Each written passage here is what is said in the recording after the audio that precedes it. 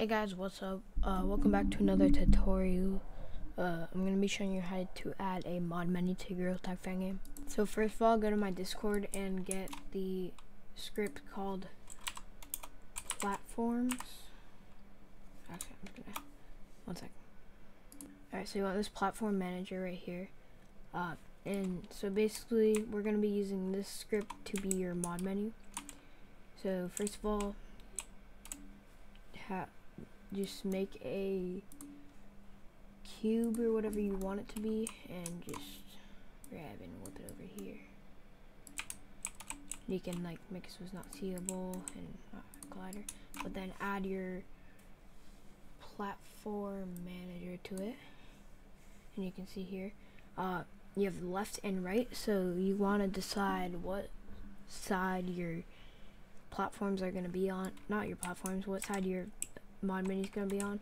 So if I go over to where I spawn and go to my Gorilla Rig, go under Gorilla Player, and I'm going to do my left hand, and uh, I'm just going to create, so here's how I usually do it. I just go like this.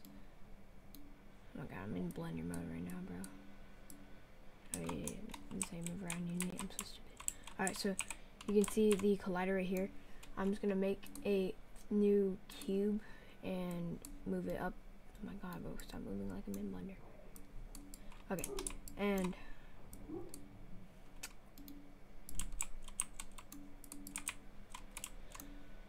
I am just going to shape it like a mod menu, you know? Just make it a square mod menu. Alright, uh, and then name it whatever you want. I'm just gonna go mod menu like this and delete this. Then go back to your Gorilla Rig and put it under whatever hand you want it to be on. So if I get my mod menu and put them under my left hand controller, that's what hand it's gonna be on. And then go back to your left hand controller and you can see my mod menu is not connected to my left hand controller. So I have to go and do that.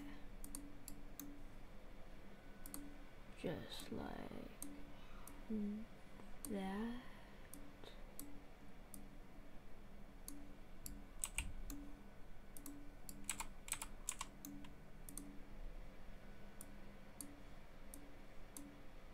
And you want it to be inside like that. And then scale it down, obviously. It's too big. Like that. And then uh, this like board part right here, uh, so this you don't want the box collider to be on it so just shut it off like that. And turn off gadgets or whatever you call them alright so this is going to be your mod menu.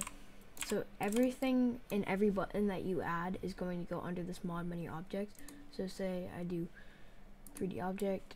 So this is going to be a button and it's going to give you like kick stick. So if I go here obviously actually I'm gonna make it easier on myself and just pull this up like this. Scale it down like this. Scale it down like this. Alright so this is my first button. I'm going to obviously turn the collider back on and make sure that it is a trigger. And what I said is going to give me kickstick so I'm just going to make it seeable. There we go Alright, so this is going to be my kick stick. I'm going to add a script to it and it's going to be change hand left hand cosmetic and uh, the name of my kick stick is just stick. So that will obviously turn on the stick but to make it so it turns off stick it, you would have to like this. So first you just scale it down like this about halfway and move it to the side.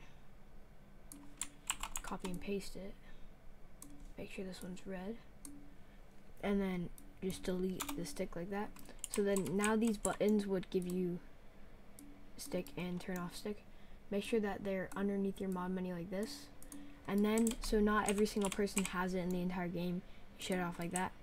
Then, uh, now to make sure that no one actually has like uh, your cube that has your platform manager on it that will allow you to turn anything you can name this uh, mod menu manager like that. And you take your mod menu manager and if you do the same thing that I do is basically I make one empty object and I put all of my stuff that goes to mods underneath that object. So basically the mod menu manager will go underneath that object and you allow that object on your playfab so only your mods have it and that's how you make a mod menu for your Gorilla Tag fan game. I hope you enjoyed. Thank you and bye bye.